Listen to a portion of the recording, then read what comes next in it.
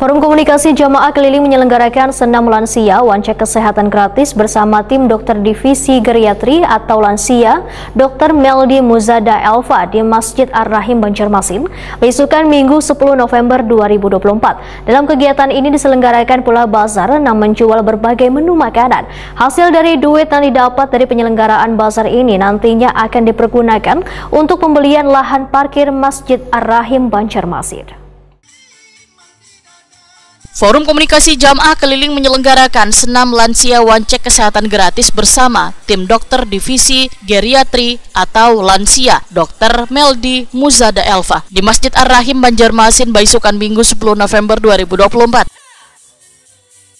Kegiatan senam yang diikuti oleh puluhan jamaah yang dipandu oleh seorang instruktur ini digelar sebelum mereka memeriksakan kesehatan.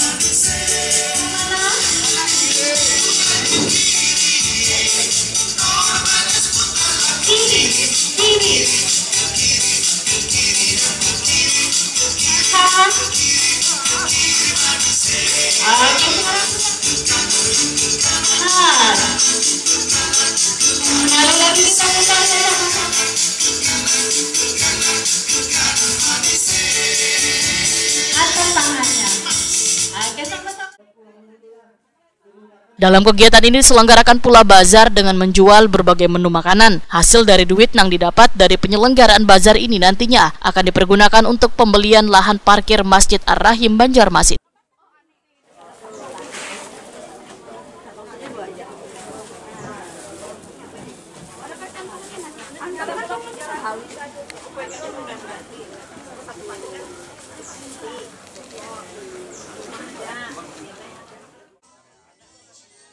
Sedangkan untuk pemeriksaan kesehatan gratis yang diberikan dalam kegiatan ini adalah mulai dari konsultasi kesehatan, cek tekanan darah, cek gula darah hingga donor darah. Kesempatan ini pun benar-benar dimanfaatkan jamaah untuk mengetahui kesehatan mereka. Alhamdulillah ya Allah masih diberi kesempatan. Apa-apa yang diperiksa tadi Bu? Semuanya apa yang mulai eh, tekanan darah, itu cek gula darah, Nggih. Habis itu yang turun naik itu Nggih. berat badannya. Nggih. Alhamdulillah semuanya baik. Sehat Bu lah. Oh, nggih. Terima kasih banyak. Nggih. Ngaran pian saya Bu. Ardiati Umur berapa sudah Bu? 65 65. Pian warga eh, jamaah di sini kan? Arahim. Di Masjid Ar-Rahim. Bu, ah, menurut pian bagus lah Bu cek kesehatan sini. Bagus benar, terutama untuk orang kaya ulun. Jadi Nggih. bisa jaga-jaga. Jadi untuk para lansia Bu lah. Bagus benar. Bagus saja bang. Tapi memang kalau masa masa ototnya mungkin mungkin memang usia juga kan memang sering. Usia lah. Ah, jadi harus di ya ini bang penapisan biar orang screening. Kalau misalnya kurang itu berarti harus diperbaiki lagi mungkin nutrisinya atau mungkin aktivitas dan olahraga Ketua Forum Komunikasi Jamaah Keliling Banjarmasin, Ustadz Husaini Sahlan, Wahetakwani Prima TV memadahkan kegiatan ini diinisiasi secara bersama-sama untuk memberikan perhatian atau peduli pada jamaah lansia.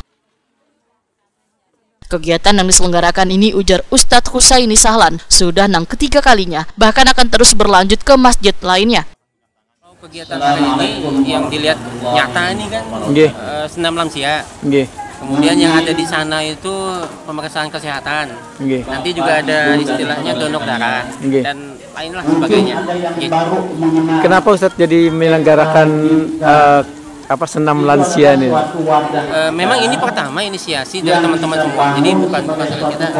Jadi semua inisiasi teman-teman, terutama dari kesehatan itu waktu itu Dr. Meldi.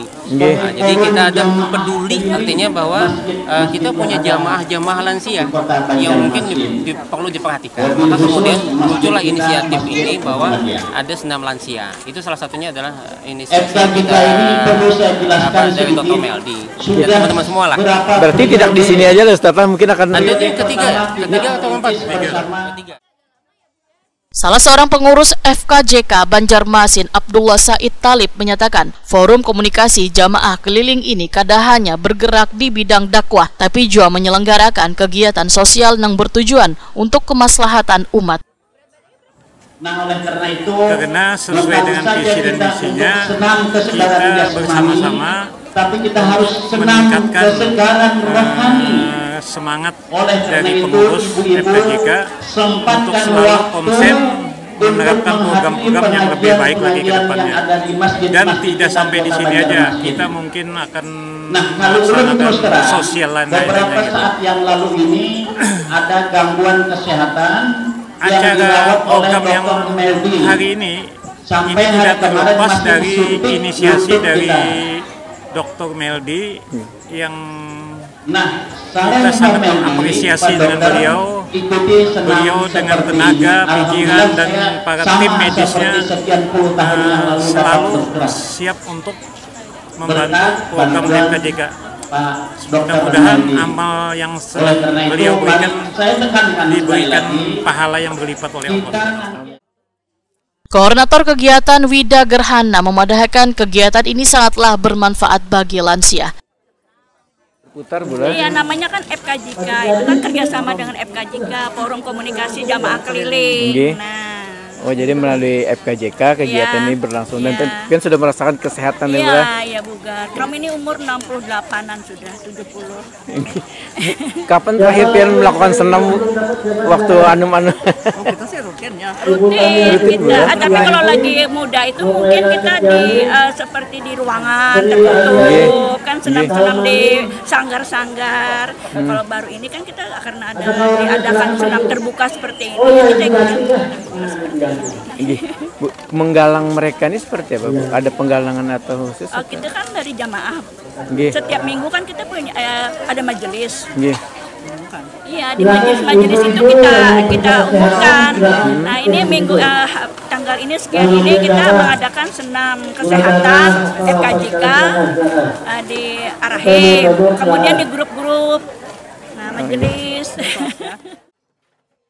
Sekretaris Kegiatan Murniati memadahkan dalam kegiatan ini sekaligus pula diadakan penggalangan dana untuk pembelian lahan parkir yaitu dengan mengadakan bazar.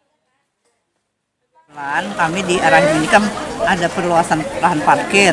Nggih. Jadi alhamdulillah kami bisa menyelipkan Mendampingkan. mendampingkan acara ini dengan sekalian mencari donasi dengan mengadakan warung amal. Nggih. Alhamdulillah banyak kupon yang sudah terjual. Partisipasinya luar biasa. Supriyadi dari Majelis FKJK Banjarmasin menyatakan sudah lebih dari 70 kali mendonorkan darahnya karena bisa menyehatkan badan. Ya, ini sih sebaiknya kalau apa, masyarakat menjaga kesehatan. itu memang seperti apa yang saya alami sendiri itu kalau donor itu manfaatnya sangat besar. Pertama untuk perbarauan darah kita dan keduanya ya kita membantu sesama. Ya nah setetes darah kita itu untuk apa namanya itu eh, menolong saudara kita kan gitu nah sebenarnya motivasi kita itu hanya untuk itu aja jadi tidak ada yang ini yang itu tidak ada kita ingin sehat dengan melalui donor darah gitu Sekretaris Masjid Ar-Rahim Banjarmasin Eko Sugiarto memadahkan kegiatan hasil dari kerjasama antara Masjid Ar-Rahim Banjarmasin dengan FKJK ini dimanfaatkan pula mengumpulkan donasi untuk pembelian lahan parkir gasan jamaah. Ini adalah kerjasama antara Masjid Arahim dengan FKJK. FKJK eh, sekaligus di samping untuk senam kesegaran dan senam bugar untuk para lansia Arahim dan kaitannya adalah kita ada momen momen pembelian lahan tanah untuk lahan parkir Masjid Arahim sehingga momen ini kita laksanakan penggalangan dana sekaligus. Jadi untuk penggalangan dana ada perluasan lahan lah di Masjid Ar-Rahim Pak. Pak harapannya dengan jamaah-jamaah Masjid Ar-Rahim yang lain nantinya Pak ke depannya. Eh, Insya Allah mudah-mudahan nanti di samping penggalangan dana ini kita libatkan ke eh, jamaah, samping jamaah eh, Arahim juga jamaah-jamaah masjid-masjid lain yang lingkupnya adalah dalam lingkungan FKJK. Untuk sama-sama membantu Pak. Dengan saling membantu. Eko Sugiarto mengucapkan terima kasih pada sabaratan pihak yang turut membantu kelancaran kegiatan ini serta turut berdonasi untuk pembelian lahan parkir agar memberikan kenyamanan gasan jamaah Masjid Ar-Rahim Banjarmasin.